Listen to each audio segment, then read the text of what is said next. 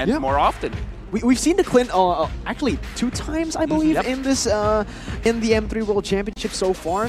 Not really a lot of success, but it is still a very, very strong hero, especially when you do choose to play around him. If you get him that snowball, if you get him that lead in the early game, certainly it is one of the best heroes to snowball on. Well, think of it this way. Initially, there's priorities in the draft, right? Immediately, you're not going to be thinking, I want gold laners. No, no, no, no. Let's get rid of the assassins first so that we can have ranged gold laners that isn't going to get punished. Well, there you go. Instantly, like you mentioned, the Assassins will be banned away from the side of uh, my MVG right now. With the Ling taken away, it is going to be the response to Red Can as they've seen what they can do on that Selena. Taking it away is a very smart choice. We've seen them constantly being like a threat, you know, able to come back in certain situations with that Selena. Taking it away, very smart. Yeah.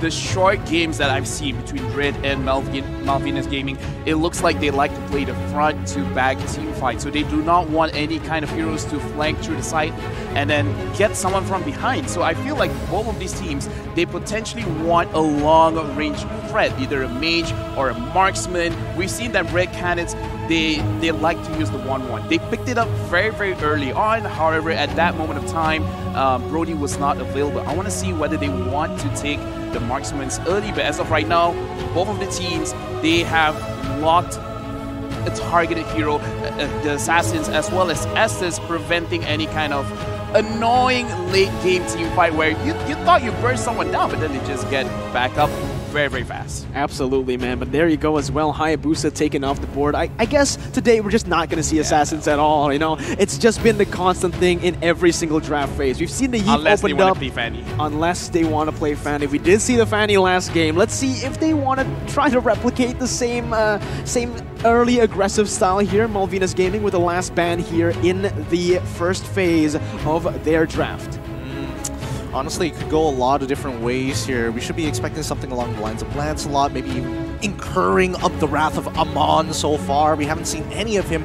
I'm very excited to see these two new heroes. You know, Floryn, for an example, is really interesting. Her ult alone is able to kind of push through that anti, quote-unquote, anti-healing, but not really with the help of Floryn. Aamon finally getting banned out. Sad days for LaFell as he was looking forward for that pick to come through. Unfortunately, Aamon will be banned once again here for the side of Malvinas. Red Cannons with the response with the final ban here in the first drafting phase. It is going to be the Mathilda taking it out of the way, getting that engaged, disengaged, basically just a prio pick out of the way for Malvinas now. First pick. Yeah, I feel like right now is a very good Yve first pick. A lot of assassins have been pushed away. A Pharsa is good as well. Both of these heroes roughly do the same thing, except that Yve has a little bit more control in the real world manipulation. The slow is incredible, but if you want a quick burst, Pharsa all the way, as well as Clint being an okay first pick, sitting in the gold lane. He will dominate with his quick draw, but I still feel Yve is the best first pick right now. I don't know, based on the trend that we've seen here today, Yi Sun-shin seems to be like the go-to first pick, especially when you are on the blue side and knowing that the rest isn't there. Up, but guess what? Looks like the analyst is correct once again to s- literally nobody's surprise. yeah, there you go. To nobody's surprise, it is another another good prediction by you. It is the Yi picked up for the side of MVG, but instantly Red Cannons with not just the Pharsa, but also the Natan. That means that their range, a lot of firepower, a lot of range here for Red Cannons composition.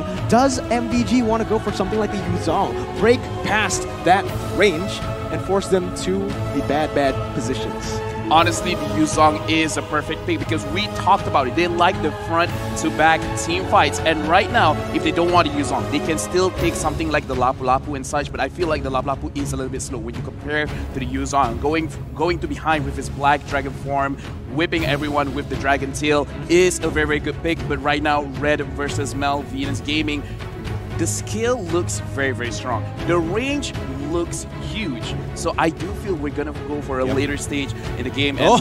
And Mirko, you said it first. Yu Zhong is there, and Ruby just to protect in case Red they also want to take something like a Lapu Lapu going penetrate the backline. Yeah, not just to protect, but also to engage, to look for some pickoffs. That's a really good pick to go for, especially considering that you're going against these range heroes. With Yu Zhong basically breaking their formation, you want someone like the Ruby to synergize with that, to get some, to capitalize basically on that good engage. But instantly for Red Cannons, they want to play it front to back, securing that very, very good frontliner in Barats. I think, you know, honestly, in this position, when you are taking taking away Ruby away from the Red Cannons here, it's more of a denial pick than anything else. Could they do without the Ruby? Obviously, they could. They could have looked for a different type of support or maybe even an EXP laner in this situation. They didn't have to go for it, but to make sure that Red loses options and have to depend on Natan so far with the superposition to take out Yve, at least out of the real world manipulation, you know, it kind of limits their options. And now Red, they have to decide now, do they want to put Natan into the jungle or into the gold lane? It is going to depend on these couple Time of bans here. tide Yep, it looks like they team is do want to throw him in towards that gold lane.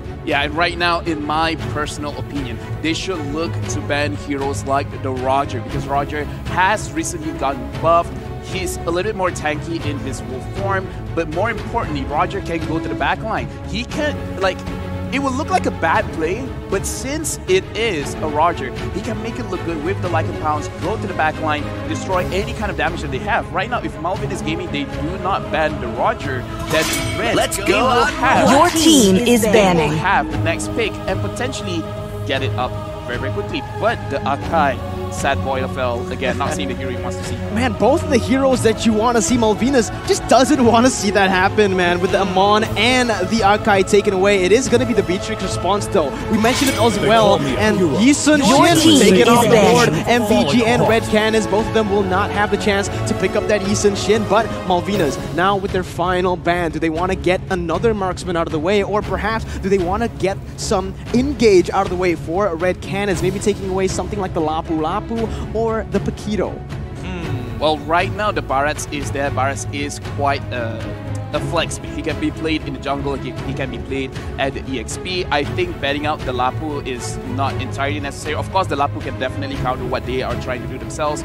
But again, I feel like Roger is a pretty good ban right now. Um, if Roger is is not banned, then again, the, the Barats can be flex. It can be it can be jungle, it can also be EXP lane.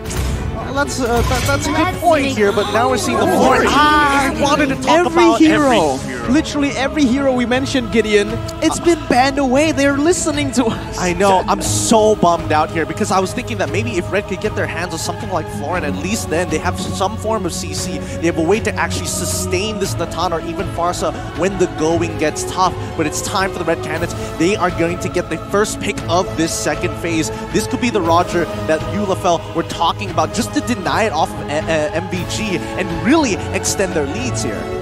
Yeah, as of right now, Red Cannons, they have a pretty solid draft. The only thing that they're lacking, just like you say, Gideon, is the crowd control, mm-hmm. right? Luna most probably is going to be the one providing the crowd control. He doesn't have the Akai anymore, but there's still quite a, a lot of heroes that can be used. Your but looks like, is no, they just want more tankiness with the Angela. And the Angela, in case it does go into the Barats, is going to be pretty unstoppable. Mm-hmm. It is going to be very unstoppable, but now with the Angel as well, adding a little bit more sustain to this composition, getting basically, you know, giving another chance for the backline to survive with the shielding that it provides here. But Malvinas, they want to go for the crazy, crazy dives, even more perhaps here, right? They want to synergize properly. The Roger is still up for grabs for this team. They already have the range, they have the engage. Do they want the damage now? Uh, it's a tough call. It's a really, really tough call here because from Malvina's Gaming's perspective, Red is just waiting for them to team finish is their composition, and here we go. Yeah. They finally revealed the Clint as well as the Roger. MVG have a great lineup so far, but knowing that Natan might have a little bit of an issue, assuming that level one doesn't go his way against this Clint, I think they have to keep in mind, keep that in mind here, and more importantly, they can just throw Natan into the jungle, and you know.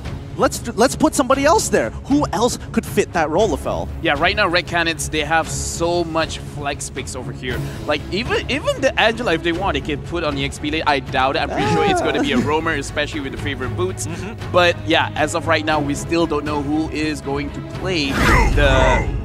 Oh, look- looks like Balmond is going in, and it's still a flex. Like Barats or Natan, either or could go to the jungle. But either way, I feel like the best way, the best, the best case scenario is put Natan down with the Clint because with the superposition, he can at least grab some of those minions, whereas, you know, putting any other uh, any other hero on the on the gold lane they might get bullied with the quick draw from Clint. Yeah, it can also be the Balmond in the jungle, right? So again, oh, yeah, there's just so much well. flex for the side of Red Canids. We'll just have to see what truly happens here in terms of the draft. Where is it gonna go? A lot of, uh, but the thing I think Red Canids lacks is engage. They don't have a solid person to just engage. They have the Barats, they have uh, the Balmond, which is really good in fights, really good in lane, really good at disengaging, but as a solid engage hero, they just don't have it. They're just going to rely on the enemy to engage so that they can kite back. Well, I think think we can both agree on one thing here is that the Red Canids, they're going to be playing a siege style of composition where it's all about wave clearing and instead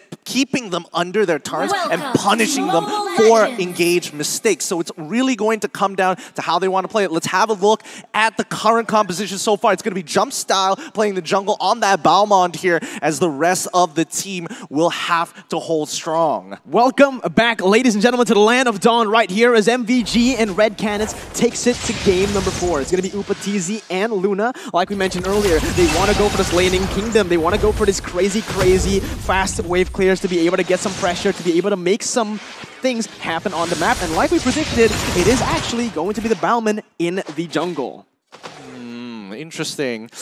I think we also have to remember that Upatizi is currently playing mid and they're sending Pharsa down to the bot side, which I think is a really smart option here because Pharsa doesn't really want to interact with his Clint overall, allowing Upatizi to just sit there with Harley and the help of Luna and just naturally have better wave clearing on top of the fact that no matter what harass comes out, Luna has got his back. Absolutely. Again, it is going to be Steffi rotating to the bottom side, giving some pressure, giving some room for Adrian to be able to farm, to be able to get that snowball like we mentioned, right? This is the lane that they want to play for. If this Clint can get the early lead. Oh, wait, wait a minute. Quinn already doing some damage onto Luna. Lycan pounces all the way under the turret right now. Is able to dish out some damage. Luna and Frost caught on the sandwich. Adrian caught very low, and there you go. It's to be the first blood by Razor, picked up by the side of the Malvinas Gaming side. Man, that first blood was absolutely sharp. Some may say razor sharp on this one. It was a really good idea by the Red Canids to make sure they're using the wings by wings to get out of these tough situations.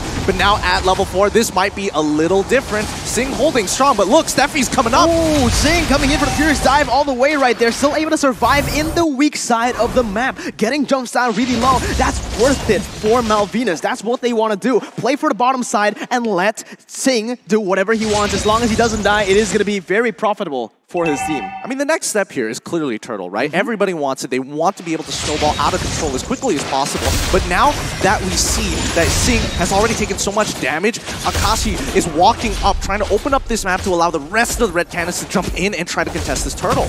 Absolutely. A fight is brewing here. Red Can is trying to contest right now. Will be able to reset it for now. It is going to be an all-out brawl. It is 4v4 right now. Akashi caught in the midst of it all. It's going to be the Fierce Dive connecting, but Detonating Welcome will be able to go in. Turtle has been slain by the side oh. of the Red Canids, and the combo Lombos comes in to pick up the kill on Quinn. It is a one for one, a one for two right now, as there is a solo kill for the Red Canids. Very worth it, only losing their roamer in the process. Yep, this is really, really worth it for the Red Canids because they're trading up. Quinn and Adrian are the two people they didn't want to die for the side of Malvinas Gaming, and only Luna trading his life. He's patting himself on the back for sure. Yeah, he's patting himself on the back for sure right now, but let's take a look at the items. Yeah, right now when we look at the items, we look at Frost. And Frost is going for the, the Clock of Destiny. And as of right now, between Yve as well as Pharsa, Pharsa definitely has the edge in terms of damage earlier on in the game. And if they keep this up, they will keep winning the Riverside matches. Absolutely. And now Again, mm. both teams just playing it a little bit more passively after that skirmish. No objectives on the board just yet. They don't want to go over-aggressive, over-commit for nothing. Yeah, absolutely. But I think you know, you can tell from the Red Canids, they understand that the weak side of the map is definitely going to be on Ferocity, who just gets pulled in. This might uh, incur a fight. I don't think it's going to mean much, but let's see how it plays out. Let's see. Yep, exactly like you predicted. It's not going to mean much right here. It is just going to be MVG running back, but Jumpstyle, he's looking for more right now as he's going to get chunked. Oh. Real World of Innovation has been opened up. Quinn looking for some damage onto Jumpstyle. Two levels levels ahead, so just no damage whatsoever with the hard guard as well on him. There's just nothing that they can do, but wait a minute, there might be another fight coming in. It's going to be Jumpstyle rotating, and that's going to be the lethal counter to pick up the kill, and another 1 for 0 trade in favor of the Red Canids. Great punish coming in from the Red Canids. Malvinas Gaming did not make a decision. They needed to make it faster, and now Jumpstyle is going to start walking into the jungle and start stealing everything away from it. Quinn, he walks in and sees three people and is like, I'm sorry, we got no pressure. Wait, Zing! Wait a minute, Zing is going to go very aggressively onto Upatizi. He does still have the damage, but it is going to be Zing flickering in front, dealing some damage. Lee Quinn with a lethal oh! counter will be able to finish him off as Jumpstart tries to deal some damage as well. Lycan pounce once again, but it is going to be the disengage as Malvinas Gaming. They want to look towards that turtle. The sun comes up, buying a little bit more time for Jumpstart, pressuring him, but in the end, it is still MVG with the lead right now, pressuring Frost under the turret. The sandwich is real. They're cutting the waves as well, stopping them from its tracks, but Wings by Wings still available and will be popped by Frost to get out of that one. Absolutely. This is great. This is great use and understanding of the heroes in their... Whoa! Happening on towards that top side here. Akashi, with the help of the Heart Guard, secures the kill onto Zing, and now they have control on the opposite side of the map, on top of the fact that Turtle is just spawned. You guys want to know a fun fact? What's a fun fact? So far, all, out of all the three games, Blue the red team has has won been destroyed. every single time. Uh, red side supremacy? Possibly, possibly. Red side supremacy possibly right now as the turtle. This is the second turtle of the game already spawning in right now. Red cannons are the one. Proactive movements coming in, but Oops easy. Gonna get caught out really low. Red Will be taken down. That's already been one person out of this fight. Let's see if Red MVG can capitalize on this turtle. instant, instant back away, instant disengage for the side of Red Cannons. Doesn't want to pick off more that they can chew. Mhm. Great decision making from the Red Cannons, but unfortunately for Upatizi, he has to pay the price for it. The little time that he bought. Oh, wait, hold on, the catch! Real world manipulation hasn't popped up. It's gonna be Luna caught very, very low, still able to survive for now. Zing is hungry though. He's gonna go jump in under the turret, not able to do anything for now. Hard guard does come in to save Akashi. No kills on the board. Oh, that's sad. That's sad. It was a great opportunity to actually maybe consider the situation. However, mid-tier ones are still available, and more importantly, they are afraid with the amount of damage that Jump Style is able to start laying down, uh, especially with his Counter-Strike. So they got to be careful here. Jump Style basically can take anybody on single-handedly. Red He's so far been ahead in terms of. EXP. But when you see Malvinas Gaming, they understand. All right, avoid him. He's shown himself bot side, we take top side. We need to start scraping as much gold and build our advantage. Yeah, they just, they just really need to wait for their power spikes because right now, Red Cannons, they have the tempo. They're gonna go in onto Zing under the turret, sandwiched in, still able to survive for now with Luna just basically trying to pressure him a little bit more. Red Cannons will be able to secure that bottom side of the map. Malvinas, though, they have been able to get a good trade and now into the seven minute item check. Yeah, right now I want to look at Zing and Quinn from Malvinas because Zing, he has been instrumental to win team fights against Red, Red Cannons, but it looks like they have a team fight down here in bot.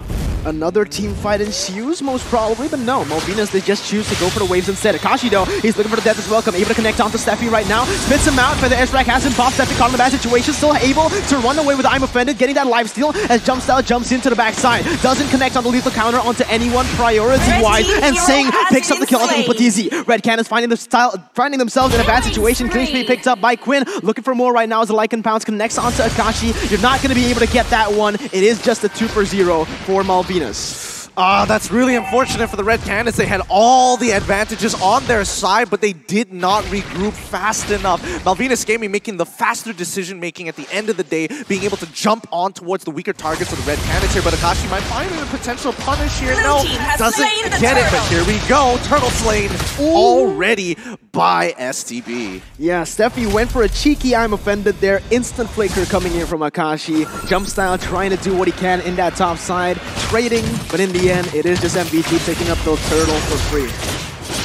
That's tough. I mean, this game, it's really dead even between Malvinas Gaming and Red Cannons. Despite it being 6 and 4, look at the gold lead so far. It's barely even noticeable. Yeah. 1K is not enough to start pushing advantages. Blue and I think as of right now, we been have to get into the topic of scaling. Yeah, honestly, at this point, I do want to ask you, LaFell, but wait a minute, it's going to be Steffi jumping in. Real world manipulation to go in for the follow-up. Akashi gets the real world manipulation. Actually, no, the death is welcome out there, but Quinn will be able to finish him off. Zing now goes into the backside, able to zone four members away right now as Jumpstyle will be the next target on the chopping block. Getting slain by. Adrian, and another two for zero for the side of Malvinas. What do Red Canids need to do here, LaFell? All right, so I'm going to talk for both teams because we have... Oh, very, very strong damage for Frost. But right now, from Red Canids, we have to look at Upatizi as well as Frost. They have a lot of range over here with both the Pharsa as well as the Natan. So if they can manage to keep their distance, if they manage to keep their range,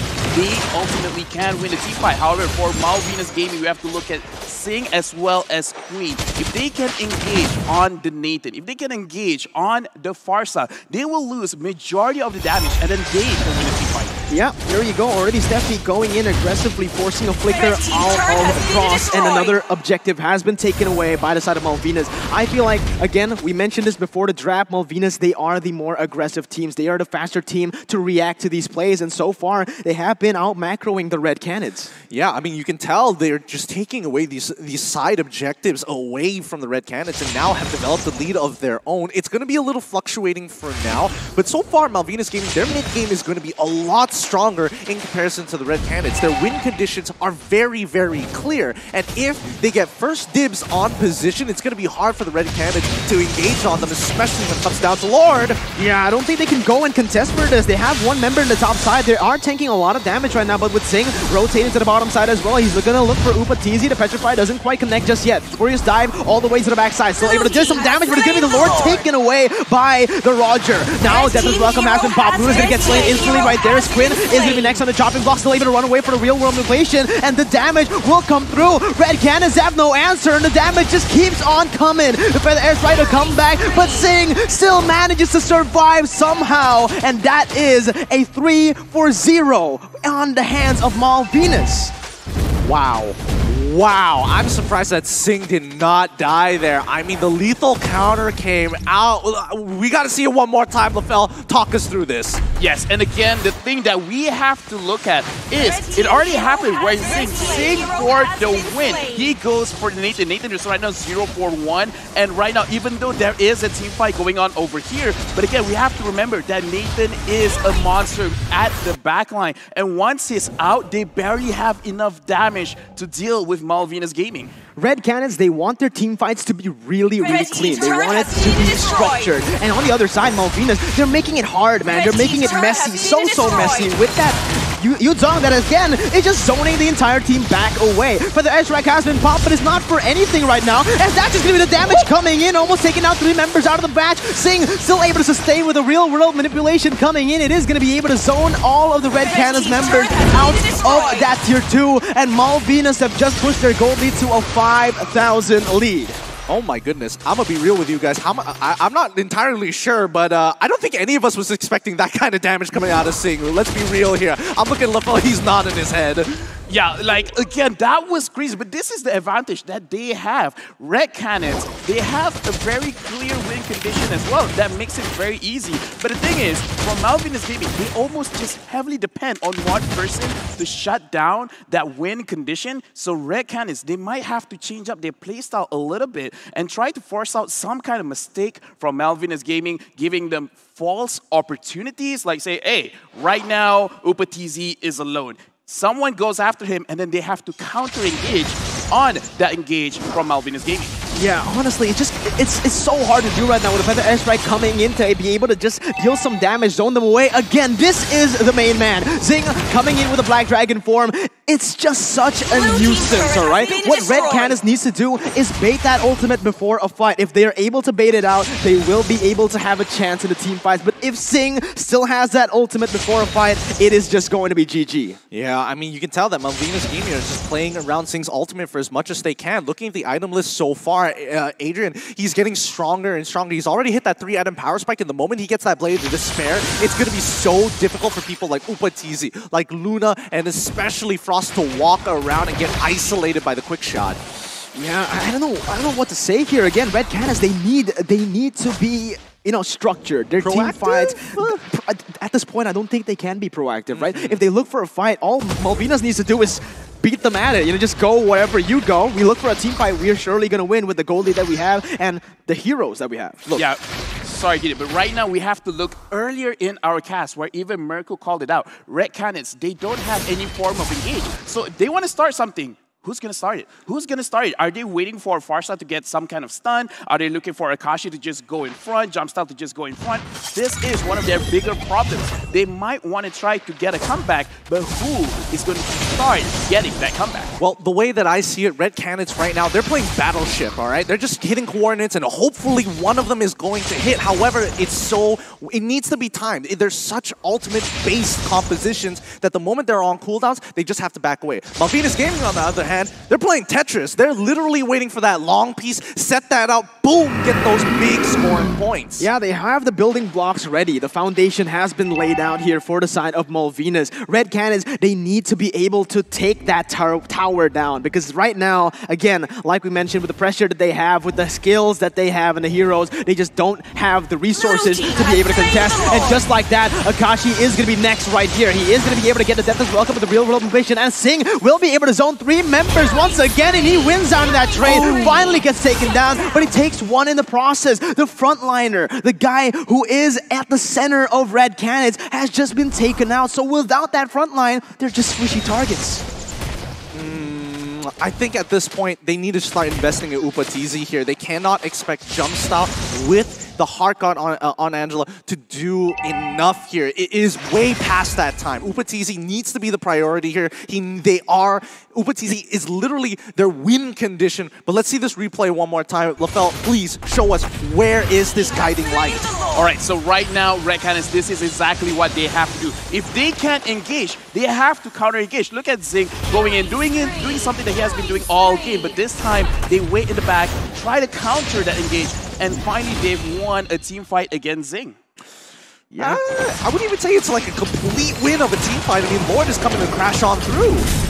Yeah, they are looking for this. Unfortunately, it is just going to be Red, Red Canids giving it out. They can't contest for this. You just simply don't have the resources to be able to do so. And Malvinas, they are just going to use every single wave to crash into the inhibitor turrets, looking for more as the real world manipulation is still there. Stephanie goes in for the I'm offended onto two members. Frost going to get taken down. Akashi calls in for the Detonating Welcome. Will not be able to find anyone in his sights. And there you go, another one. Jumpstyle gets stunned down, still able to run away for now, but the damage coming from Adrian almost taking Akashi down. Three inhibitor turrets taken down. Luna gets chunked really low. Will he die right here? He's still able to survive for now, but it's going to be Steffi and everyone in the midst of it all. The damage coming in, and it might be Red Canids turning it away, but not for long. The Wonder Kid from Malvinas still able to sustain, still able to survive, but it is going to be Sing taken down. A 3v3 right now. The base is the target. It is going to be Jump Style dashing in to deal some damage with Upatizi as well, helping him out, but just supreme, supreme positioning from the side of Malvinas, and the re-engage to help it out. It is going to be Red cannons falling back in their own base. Oh, what a fight. What a fight that was. Red Canids could uh, easily have pushed Malvinas Gaming out of there. Unfortunately, Malvinas, they weren't going for the throat. They knew that they didn't have enough of an advantage to completely close out this game, so they take out all the remaining inhibitor turrets. But you can see that Upatizi is strong. He is really, really strong here. And Malvinas Gaming has identified he is going to be a big problem if Frost isn't there. Honestly, you know, was it just delaying the inevitable, or do you actually, like, what do Red Canids have to do at this point, right? We mentioned the Black Dragon form, we need to get that out of the way. We mentioned that they need to be structured, but at this point, three inhibitor turrets down. What options do they have? Right now, again, since they don't have any ways of engaging, they can't engage. They have to play the backline. Akashi has to use the Detonating Welcome on a very, very good target. It is Zing or a Queen, and then try to capitalize on that cash. Because if we're looking at the items, Upatizi, he has mo he has three damaging items. That is enough for him. Luna as well, already having the Necklace of Endurance, already has the Ice Queen one.